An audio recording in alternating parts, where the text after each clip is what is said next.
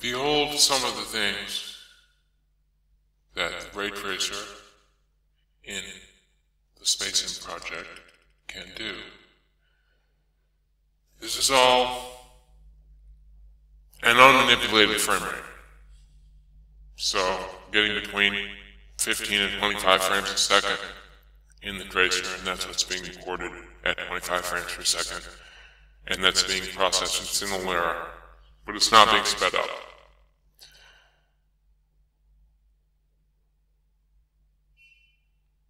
I fisheye in, flattening the camera and fisheye out a lot in this movie.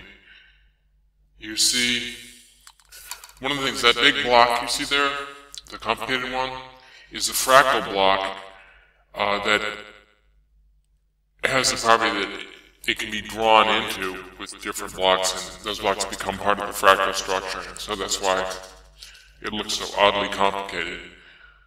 I don't demonstrate that drawing process, the construction process in here. Here you see a texture with transparency and mirror and color inside a cave full of red mist. Here we're going across the plane to look at a composite object with embedded blocks with pictures of Shelley Duvall from Shining. And that is a very complicated, it's a sphere made up of spheres that are themselves aphorasterized out of red blocks that are too small to see. And the openings in this, these clipped spheres, red spheres, are uh, filled with meshes of little blue spheres that are themselves made up of little blue spheres or something like that. Um, so you can get it. Actually, there are some interesting interference effects in in the blue there that you can see. Um, OpenGL is only used here for the final steps. That is to say, a, a, an image, a bitmapped image is constructed by the ray tracer. And all OpenGL does is take that image, scale it up with linear interpolation, I believe, and put it on screen. And that process has happened before the movie capture.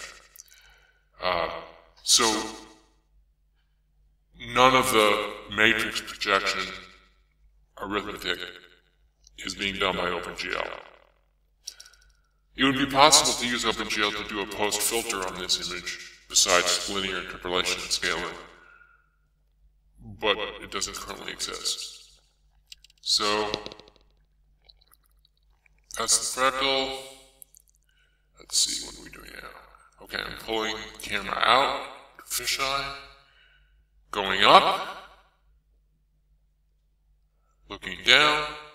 Oh, that block we saw before with the mirrors inside the red mist, the mirrors and the dots, and the transparency. I'm drawing it up in the air, now I'm looking down.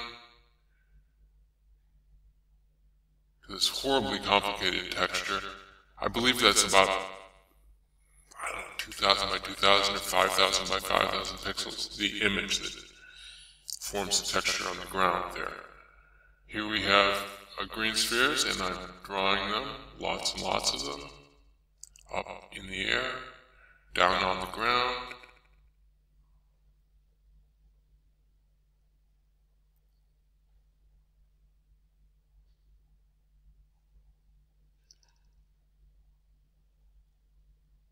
Very clearly, this is totally, totally unlike a rasterizer in look and in feel uh, when one navigates through it.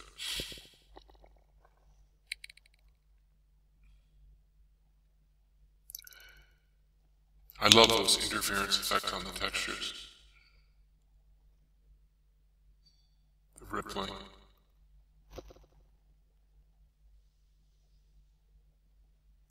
And those are all, those green spheres are made up of tiny little cubes, but they're normal shaded according to their position in the sphere, not according to the position of the ray on the face of the tiny cube heads. So, um, those spheres are actually made up of blocks.